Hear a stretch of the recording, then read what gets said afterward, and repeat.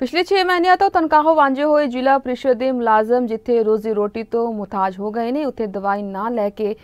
ਸਕਣ ਪਰਿਵਾਰਕ ਮੈਂਬਰ ਪਰੇਸ਼ਾਨੀ ਦੇ ਆਲਮ ਵਿੱਚੋਂ ਗੁਜ਼ਰ ਰਹੇ ਨੇ। ਭਾਵੇਂ ਤਨਖਾਹ ਨਾ ਮਿਲਣ ਦਾ ਰੋਸ ਜਾਰੀ ਕਰਦਿਆਂ ਦਰਜਾ ਚਾਰ ਕਰਮਚਾਰੀਆਂ ਵੱਲੋਂ ਲਗਾਤਾਰ ਅਧਿਕਾਰੀਆਂ ਨੂੰ ਦਰਖਾਸਤਾਂ ਕੀਤੀਆਂ ਜਾ ਰਹੀਆਂ ਨੇ ਪਰੰਤੂ ਤਨਖਾਹ ਨਾ ਮਿਲਣ ਕਰਕੇ ਹੁਣ ਮੁਲਾਜ਼ਮ ਤੇ ਉਹਨਾਂ ਦੇ ਪਰਿਵਾਰ ਆਰ-ਪਾਰ ਦੀ ਲੜਾਈ ਲੜਨ ਦੇ ਰੋਹ ਵਿੱਚ ਦਿਖਾਈ ਦੇ ਰਹੇ ਨੇ ਤਨਖਾਹ ਨਾ ਮਿਲਣ ਕਰਕੇ ਪਰੇਸ਼ਾਨ ਦਰਜਾ 4 ਮੁਲਾਜ਼ਮ ਨੇ ਆਖਿਆ ਕਿ 6 ਮਹੀਨਿਆਂ ਤੋਂ ਤਨਖਾਹ ਨਹੀਂ ਮਿਲੀ ਜਦੋਂ ਕਿ ਮੁਲਾਜ਼ਮ ਦੀ ਮਾਤਾ ਨੇ ਤਨਖਾਹ ਨਾ ਮਿਲਣ ਕਰਕੇ ਘਰ ਦਾ ਚੁੱਲ੍ਹਾ ਠੰਡਾ ਪੈਣ ਦੀ ਤਾਕੀਦ ਕਰਦਿਆਂ ਦਵਾਈ ਤੋਂ ਵੀ ਮੁਤਾਜ ਹੋਣ ਦਾ ਦਾਅਵਾ ਕੀਤਾ ਹੈ। करके सरकार को रिक्वेस्ट करेंगे कि भाई इनकी जल्द से जल्द सैलरी रिलीज की जाए और बाकी